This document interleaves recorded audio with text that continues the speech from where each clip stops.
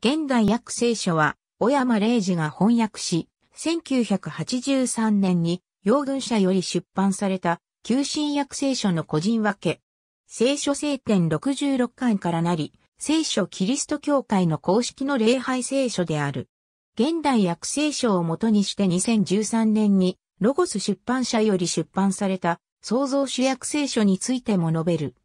聖書に素養のない日本人が聖書仲介書や解説書を使わないで原文の意味を正確に理解できるようにという意図を持って翻訳されている。生徒、あがない、義と認められるなどのキリスト教独特の用語は避けてある。小山氏は巻会伝道の当初から公開説教を行い、公開説教に主役をつけていたが、友人の間の動的等価翻訳原則を採用して訳し直した。聖書は原点において誤りのない神の言葉なのであり、解釈の入らない翻訳はない。解説しながら訳した例は聖書自身にある。新約聖書にはしばしば旧約聖書の解説を見出せる。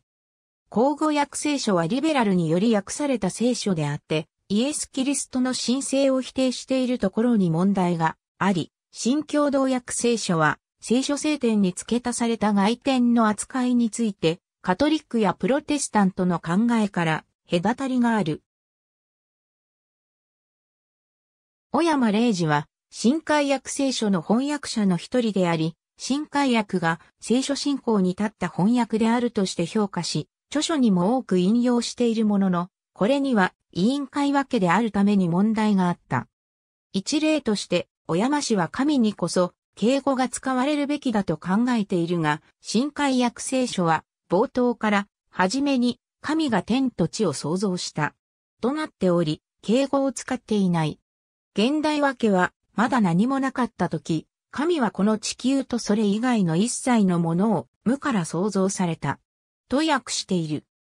ヨハネによる福音書1時12分は、新海訳がこの方を受け入れた人々、すなわち、その名を信じた人々には、神の子供とされる特権をお与えになった。と訳している箇所を、現代訳では、神の子供としての権威をいただくことができる。と訳している。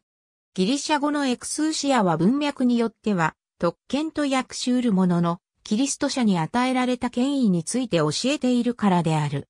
創造主訳聖書は、現代訳聖書を定本とし、文中の神の表記を偶像として用いられているものを除きすべて創造主に置き換えたものである。